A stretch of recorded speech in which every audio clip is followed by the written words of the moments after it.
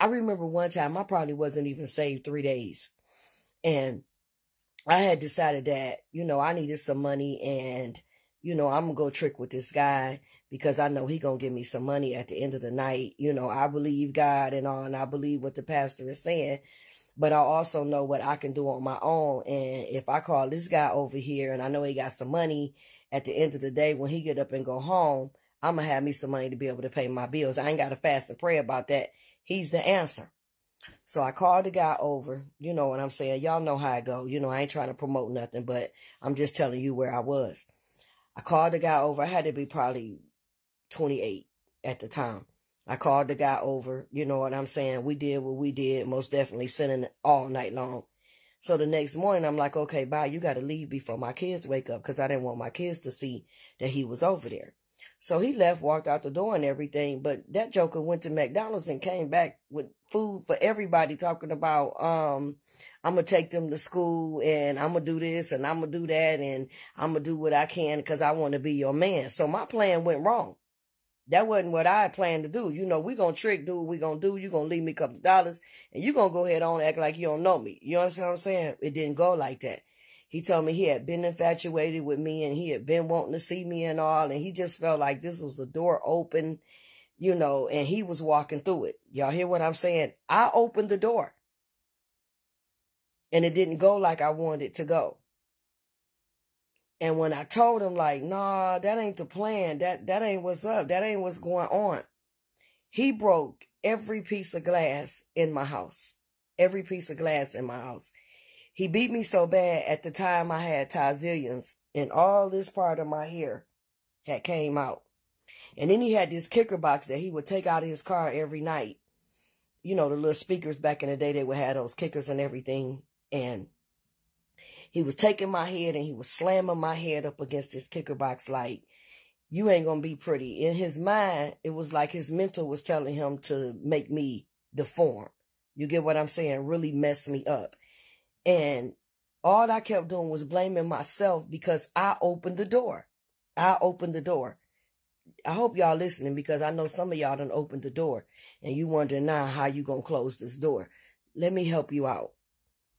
I knew I couldn't talk to nobody about it because when you just be, sometimes you can be too transparent and too honest and people will judge you. They ain't looking at it like, wow, she messed up, you know she didn't deserve that. You know, no, they look at it like, hey, you had no business and you shouldn't have, and you know better and you shoulda, woulda, coulda. I didn't want to hear all that. So I let them stay there, got the windows fixed, and, you know, pretending like everything was okay. You understand what I'm saying? I remember when I went to church and the woman of God told me, she said, he ain't fooling God. He may have a lot of people fooled because I said, I'm going to church. You know how they'd be like, you want to get rid of somebody, start going to church. So I started going to church. And that joker started coming to church too. And I was just so miserable. But I had on my little fake smile and everything. You know what I'm saying?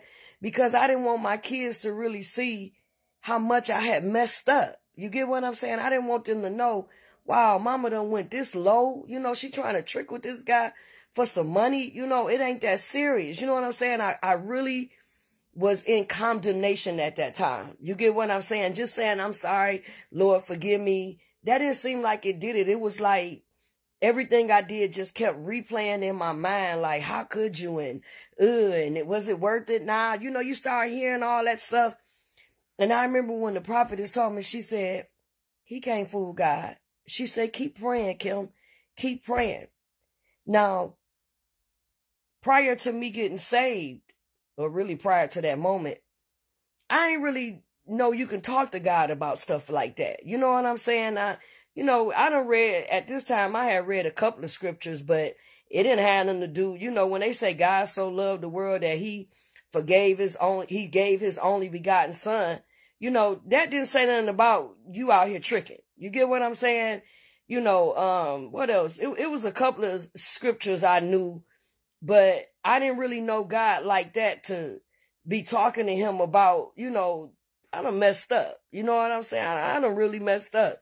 And I don't like this guy. And, and I never liked him, you know, and I don't want him here, but what am I going to do? Because last time I told him to leave, he acted a fool. He broke all my glass out. He broke my windows, broke my table. He really messed everything up. So I don't know how to get him out. Well, anyway, I was just that crazy to try it. I believe the woman of God. I was just that crazy to try it. And I went home. Really, it was like I was in my car. Whenever I got in my car by myself, I would just be like, Lord, I'm sorry. Like I, if you hear me, you know how we be. If, if you hear me, if, if it's okay, you know, please get him out my house. I don't want him there. I don't like him. I was wrong. The money ain't even worth it. You know what I'm saying? Like, just forgive me, you know, Lord, forgive me. You know, I ain't know no scripture, so I ain't gonna say I said all that. I just was saying what was in my heart, saying how I felt like, you know, it's kind of like if I had a best friend at the time that I can just open up to and really just spill it all out. That's how I was talking to God in prayer. Like, Lord, you know, I know this and you know this and you saw it and you know everything, you know, cause we can't, we can't be fake with him. Now I wouldn't being fake. You know, I was just talking in, in my car. I'll say probably four days after I started praying, about four days. And I was like, every time I was in my car, I was really praying.